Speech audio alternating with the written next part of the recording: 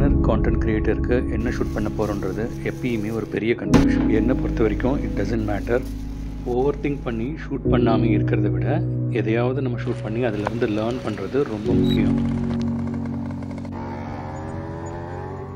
Content க்ரியேஷனில் lighting sound effects இது மாதிரி நம்ம கற்றுக்க வேண்டிய விஷயங்கள் நிறைய இருக்குது ஸோ ஸ்டார்டிங் ஸ்டேஜஸில் அவுட்புட் பார்க்காம நம்ம கன்சிஸ்டண்ட்டாக வீடியோ போடுறது ரொம்ப முக்கியமான மைண்ட் செட்னு நான் நினைக்கிறேன்.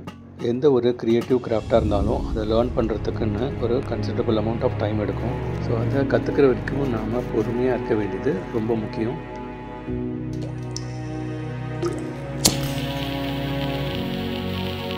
ஒரு ஒரு தடையும் ஒரு சின்ன இம்ப்ரூவ்மெண்ட்டை நாம் பண்ணோம் அப்படின்னா கண்டிப்பாக ஓவர் த பீரியட் நாம் அந்த கிராஃப்டை கற்றுக்கலாம் ஸோ ஓவர் திங்க் பண்ணாமல் ஜஸ்ட் டூ இட்